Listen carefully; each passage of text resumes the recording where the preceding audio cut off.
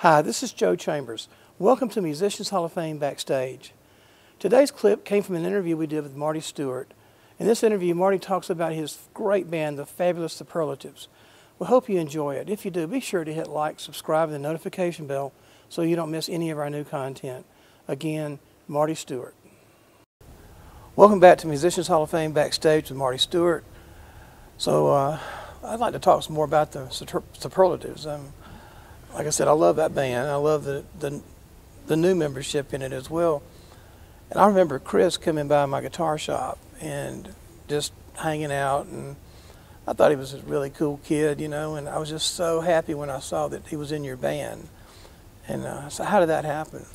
We had done 156 episodes of a television show that celebrated traditional country music. And every time we needed just that, that guy that could kind of come in and do anything from playing non-pedal steel to sock rhythm to adding, you know, flair to the set, Scruggs came around. And um, I would call Chris, and if he was available, he'd come play with us. And it always just fit. And so when we, we understood that Paul Martin was going to leave and, and uh, go work with his family, Kenny and Harry and I got together, and I said, "Who? Where do you find another superlative? Mm-hmm. You can't exactly walk out and find just anybody that knows the language of what we do and, and all the ins and outs of it, the nuances of that." And Chris's name came up. I said, "Well, call Chris Kenny, his assignment was call Chris and see if he knows anybody. And Chris said, how about me? And, and he called me back and told me, I went, you got to be kidding.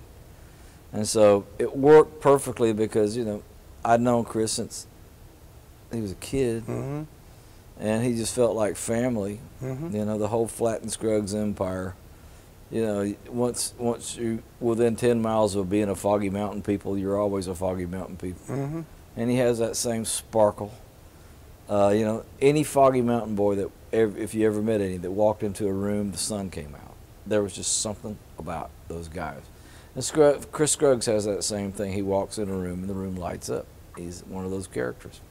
Yeah, he just he just fits perfectly yeah. on stage, and I love his I love his bass playing too. You know? Oh, that that was the most surprising thing.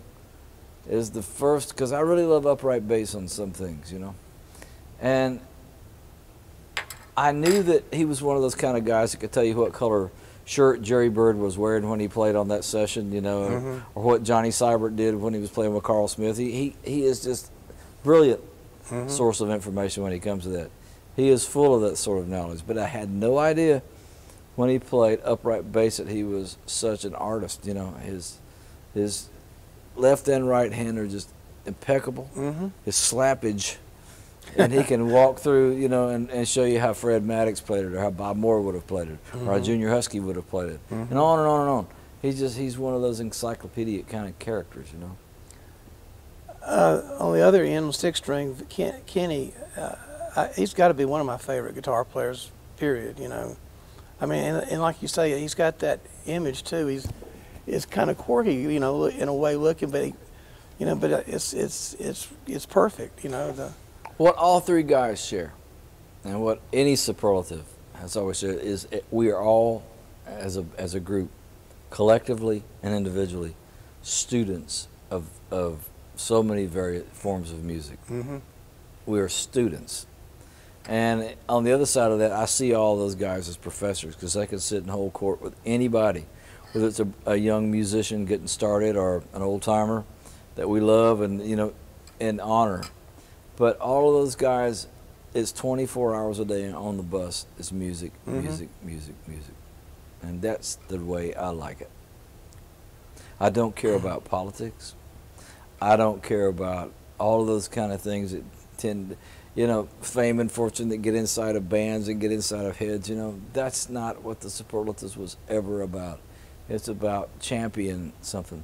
And one day, after we started, I, I, I remember thinking, we have been honored guests everywhere we've gone. We did a record called Souls Chapel about the dis, you know kind of honoring the disappearing sound of Mississippi Delta gospel staple singers kind of mm-hmm. sound. And there was a live at the Ryman bluegrass record. Uh, we did a record called Badlands that shined the light on the Lakota people in South Dakota mm-hmm. that are a big part of my life. But one day I went, I, we're honored guests, but I don't feel like we have any place to drive our sword and go, this is our territory, this is Mhm. our flag. And one day, traditional country music came forward. I went, ah, that's what I love the most. It makes me, it makes my heart fill up. It's a disappearing culture that is so important, and we have about five minutes left to get the great ones, as well as the young people coming on that still love it. And that's why that TV show, the Marty Stuart Show Mhm. on RFD, came forth. But Kenny uh, has always been like it's it, my, my my partner, and it's in that uh, guitar world because it's interesting. You can take everybody if you're recording off, and just shove up our two faders, and we've never talked. Usually, we never. If we talk about something, it's about you know that long, but but the parts do this. It's like a tapestry Mm-hmm. he's he's really really a a deep well of knowledge in so many different ways. His tributaries run deep, and it's so fun to play with him. How did this uh, tour happen recently uh, with uh, Chris from um, the Byrds? Roger and Chris. hmm Well, Roger McGuinn came and did our TV show twice. And, you know, there's a Byrds connection probably because of the Clarence White guitar that I play, that Mhm. old pull string. And Roger and I met years ago, and it was like instant. And I just love Roger. He's my brother. And um, again, Byrds World's kind of like um, Foggy Mountain World. You know, you know, I once a bird. hmm And I had never met Chris Hillman really formally and shook hands a time or two. But Roger came and did our TV show, and we got to be the Byrds. And we were one thing about that TV show. We worked hard on playing the record, hmm putting people back in the frame that made them, you know, made us fall in love with it as an Mhm. audience. And I wanted to follow Roger, you know, home and, and just keep playing. And so we were in Austin, Texas, and my phone rang one day. Hey, man, it's Roger. And then we were in the airport in Santo Domingo, or he and his wife, uh, Camilla. And it's the 50th anniversary of the Sweetheart record. Would you guys be interested in going out and playing a few shows? I went, the answer is yes. I don't care what the deal is. The answer is yes. hmm And we we woodshedded that record out on the road, and we got to be the Byrds, and that tour was magic. It was what music is really all. I heard it was all. I missed it. Oh man, it was every night. You know, some songs better than others on night A or night B, but in general, what I loved about it is is people that love going to concerts and grew up on those records and have held them in their hearts all these years. They got to come and see it because most of them thought that they would never see it Mhm. ever again. Right. And there's Hillman, and there's McGuinn, and there's Clarence's guitar, and there's you know Scruggs playing steel when playing Lloyd Green's parts, and Harry singing those harmonies that you know Crosby and those guys used to do, and me and Kenny would swap off doing whatever we needed to do. It was awesome. It was a, a tour of a lifetime. I think the when the Byrds did um, Mr. Tambourine Man, it kind of shifted the whole music industry, didn't it? I mean, that was kind of the the first blending of folk and rock or something like that. Weren't they called the American Beatles? I Yeah. think, I think they were referred Yeah, to as yes. that. hmm When I first came to Nashville, I I really was invited up here by Roland White, Clarence White's brother, who was in Lester Flatt's band. I'd met him on the Bluegrass Festival circuit when I was 12. He gave me his phone number, said, call me sometimes, you know, maybe you could come up and ride the bus with us for a weekend. And I got kicked out of school for reading a country music song roundup instead of studying in my history book. And I called Roland and I said, this would be a wonderful time to come see you. Labor Day weekend, 1972. And I came up here, and within the course of a week, Lester Flatt offered me a job. But I noticed, and I lived at Roland's house. My folks were still in Mississippi. But I noticed that Roland had a great record collection. But there were a stack of Byrds records, Kentucky Colonels and Byrds records. I said, "What's the deal with the Byrds?" He says, "My brother Clarence plays with them." So I had that sound in my head, and after Roland left the band to go back and work, he and Clarence and their other brother Eric put a band together for a few months before Clarence got killed. Um, I discovered a record called "Sweetheart of the Rodeo." hmm and I liked it because it was the first time that I heard folk and honky tonk and rock and roll and hard country, bluegrass and gospel music collide Mhm. successfully. And not long after that, Lester Flatt played a show in Cincinnati. Dig this. It was Lester Flatt, Kool and the Gang, and Chicoria. a college buyer showcase. And we encored nine times. I thought they'd laugh us off, but we encored nine times. And we became rock stars. Lester Flatt and the Nashville Grass became rock stars. We played hippie festivals, uh, you know, big old bluegrass festivals, rock shows, the most unlikely things.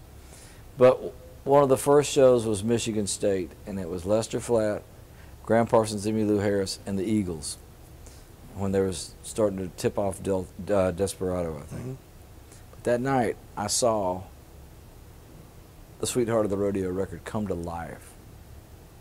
And I went, aha, this is how you do it.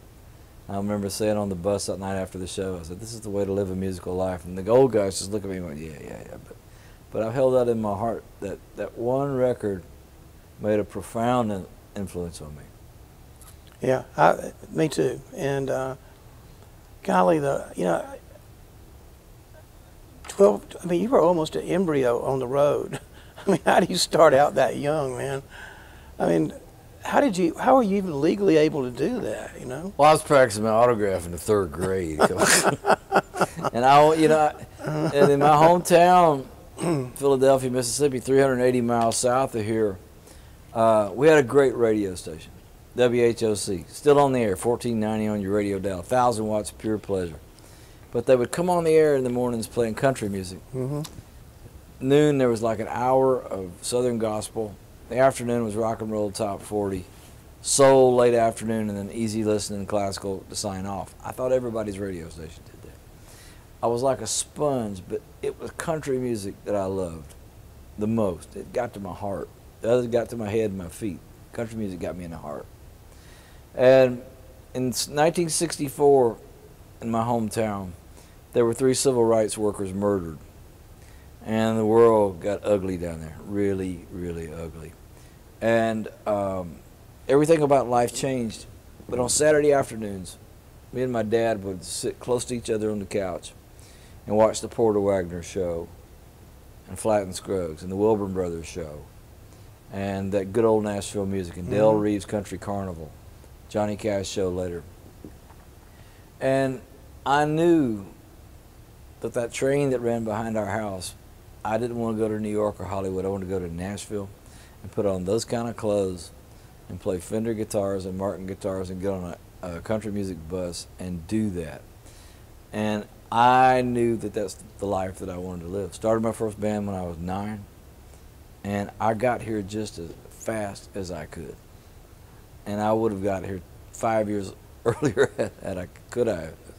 How, how did you get started on, on playing? I mean, it was it was somebody in your family play or? My mom played piano at church. Uh, my buddy Butch Hodgins down the street, his wife, or his mama, not his wife, his mama showed me three chords on the guitar: "Tiger by the Tail," G, C, D. Mm-hmm. Which you know, into the world of country music, that can get you. And that's how it started and I just simply watched people on TV, listened to the radio, and I had one of those record players you could slow down to, to 16 mm-hmm. and figure things out. But a Johnny Cash record and a Flatt and Scruggs record were the first two records that I had, and that became the only two jobs I ever had as a working musician. Mm-hmm. And that, what, what was interesting about our little neighborhood band um, is that the British invasion was really strong at that time. But we played Folsom Prison Blues and Wildwood Flower and Mama Tried and those kind of songs. I felt like it was my job to, to be a correspondent and represent country music mm-hmm. in my neighborhood. And there's nothing different today, it's what I still do. Mm-hmm.